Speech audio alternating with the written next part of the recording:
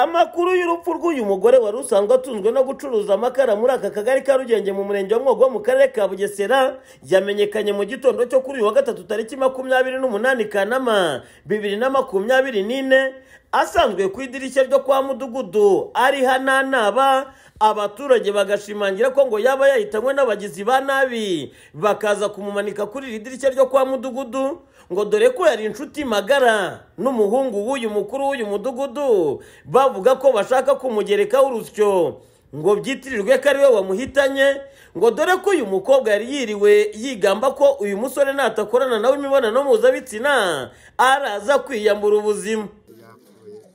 Ariko ikigaragara ntabwo twamenya nimba yiyahuye cyangwa bamwishe. Kuko umuntu yarahagaze gutya twibaza ukuntu umuntu yakwiyahura ahagaze. Biraducana. Amakuru ni gutyo twaye ni gutyo nahasanze bimeze. Imineke n'amavoka yacuruzaga. Yacuruzaga rwacuruzaga gatatu. Murakeka yaba yiyahuye cyangwa yishwe? Byose birashoboka kuba yakiyahura kubera ko ngo yanabivuze yabikora kandi ndayoberwa buriya nta n'ikintu itinya. Iyo yamaze kunywa inzoga yasinze se aratinya se? Ashobora umuntu wasinze nta bwenge aba afite. Ashobora kwiyahura ariko nanone ashobora kuba hari n'abandi bamwishe bakaza bakamutwerera uriya musore kubera ko bari bazi yuko ari inshuti ye. Twasanze yiyahuriye mu idirishya. Yisize ikiziriko mu ijosi nubwo bamwe mu baturage bavuga ibi abandi bashimangira ko ngo yaba yishwe n'abagizi ba nabi bakaza kumunanika kuri iri dirishya ryo kwa mudugudu ngo dore ko yari asanzwe afite ingeso itari nziza yo kwicuruza. Ibifatwa nk'uburaya bamwe mu bagore ngo bakaba bamuziraga ngo bitewe n'uko yabatwariraga abagabo ari cyo baheraho basaba ku rwego rw'ubugenzacyaha ribu rwakagombye gukora iperereza ryimbitse kuri nyakwigendera. Ikintu dusaba ni umutekano mu mudugudu ndetse n'akagari.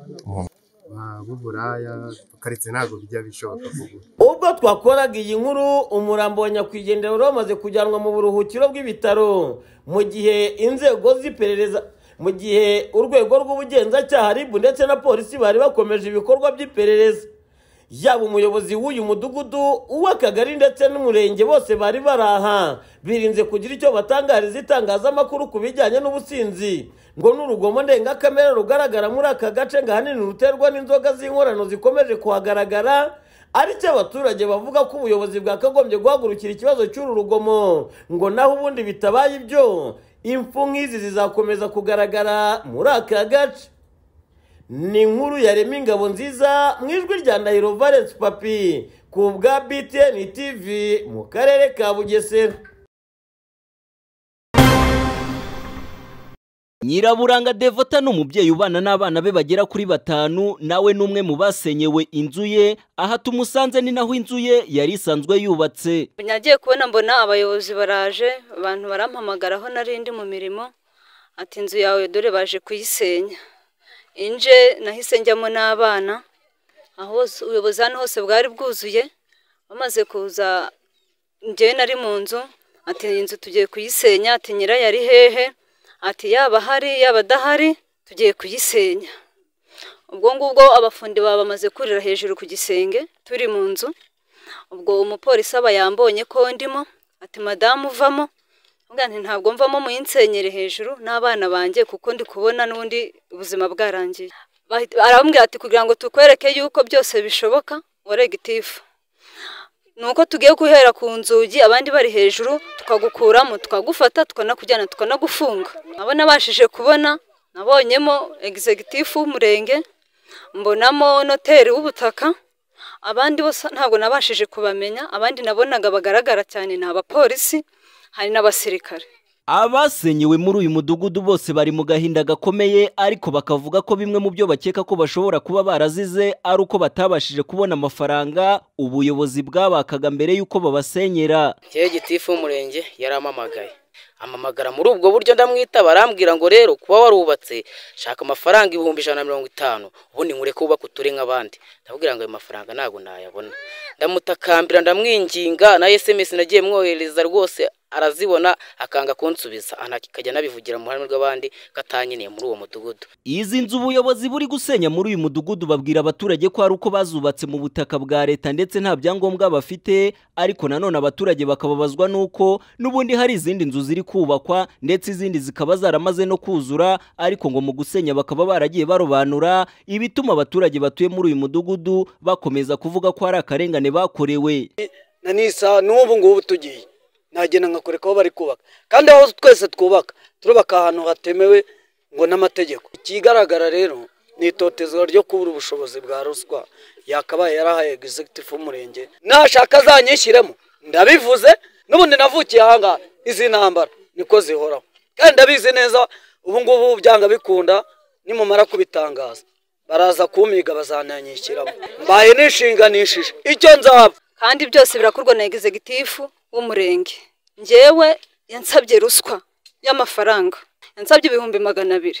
Ndamubwira egizegitifu ngewe ibihumbi magana sinabibona. Ati hatabonetse ibihumbi magana abiri ntabwo iriya nzu uzayubaka. Bamwe mu baturage batuye muri uyu mudugudu ngo babanje kubabwira ko uyu mudugudu batuyemo impamvu bari kwimuramo bamwe mu baturage ari uko ngo baturiye hafi n'ubucukuzi bw'amabuye y'agaciro ariko kuri ubu buyobozi butangaza ko uyu mudugudu nta bucukuzi bw'amabuye y'agaciro bugeramo akaba ari na yo mpamvu abaturage bawutuye bari mu gihirahiro bibaza impamvu ki bamwe mu baturage bakomeje gusenyerwa inzu zabo. Aho kugira ngo basenyere umuntu umwe.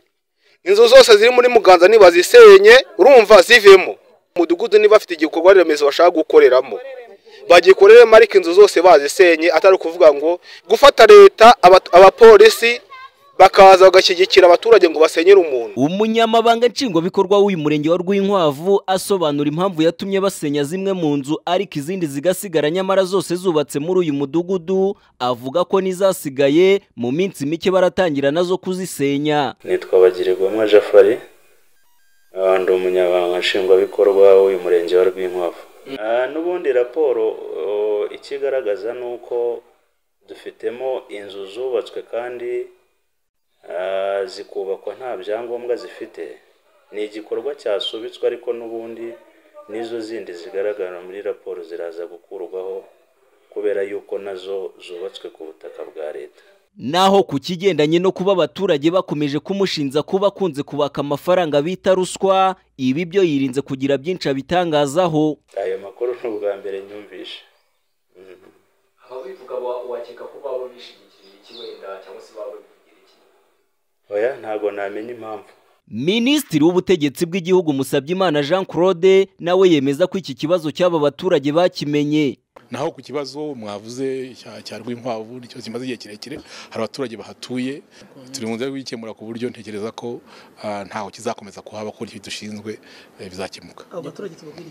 Abaturage mubabwire ko ikibazo cyabo ubu navuga ko kiri hafi gukemuka. Uretse izi nzu basenye na bimwe mu bikoresho byari birimo abaturage bavuga ko byagiye byangirika ndetse kuri ubu bakavuga ko badafite aho kwerekeza abana babo ndetse nabo ubwabo ntibafite aho kurambika umusaya akaba ari ikibazo basaba ko inzego zikwiye guhagurukira dore ko ngo ubwo basenyaga izi nzu hari na bamwe mu baturage bafashe bagafunga ndetse ngo bari barimo n'umwana uri mu kigero cy'imyaka cumi n'ine kuri ubu abaturiye muri uyu mudugudu bakavuga ko bari mu gihirahiro.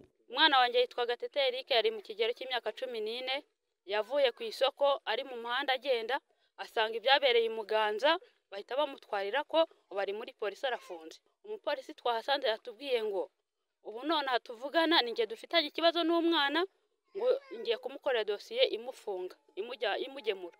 Umuyange jean batiste btn tv mu karere ka kayonza.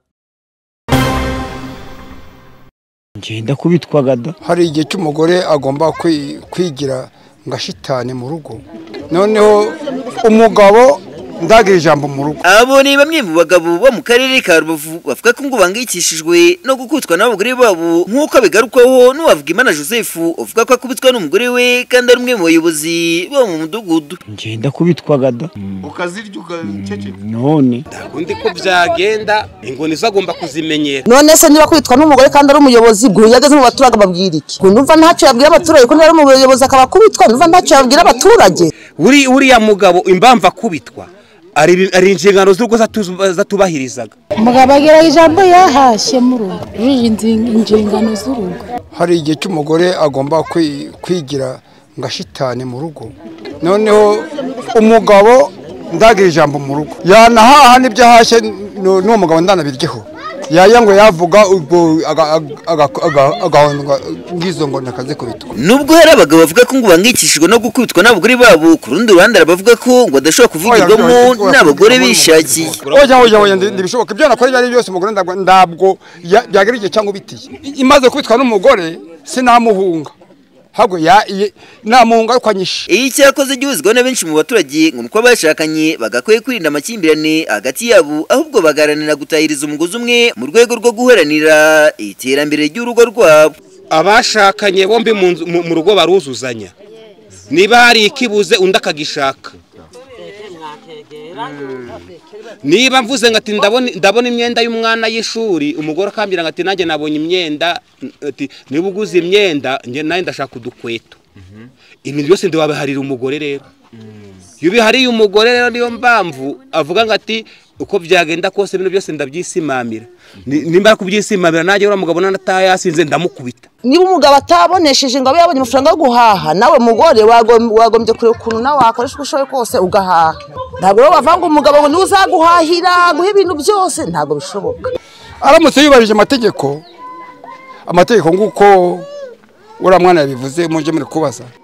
Bakuzuzanya bombi. Ibyo ngibyo ndaba byabaho ariko hari n'umugabo ubikurikiza. Aka akanakubitwa ubundi mwewe ni uko mwatubajirije mu ruhame bari mu banga ni ho umuntu yatanga amakuru neza. Ku murongo wa telefone itangazamakuru riganira na murirwa prosperi umuyobozi w'akarere ka rubavu yavuze ko hari uburyo bwinshi bwo gukemura amakimbirane aboneka hagati y'abashakanye harimo kwifashisha inzira y'amategeko ndetse n'ibiganiro bitangwa n'inshuti z'umuryango gusa avuga ko ngo amakimbirane hagati y'abashakanye akunze guterwa n'ubusinzi bukabije. Urumva bishingiye ku businzi. Niba umugore agenda akajya mu businzi akaza imyitwarire yahindutse kubera in- inzoga cyangwa ibindi biyobyabwenge ibyo ngibyo ntabwo ntabwo twabirangiriza kuri telefone uretse gutanga ubutumwa rusange ku baturage bose kwirinda inzoga. Ariko no gutandukana biremewe aho kugira ngo ubane n'umuntu azakwicire mu nzu byaba byiza mugatandukana mu rwego rw'amategeko kuko izo nzira zose zarateganyijwe. Mu bindi bivugwa n'abaturage ngo nuko abagabo bagakwiye gutinyuka bakagaragaza ihohoterwa bakorerwa n'abagore kugira ngo bahabwe ubutabera. Hago- ha- hagombye kubaho ibirego. Eh, umu- umugabo akabiregera.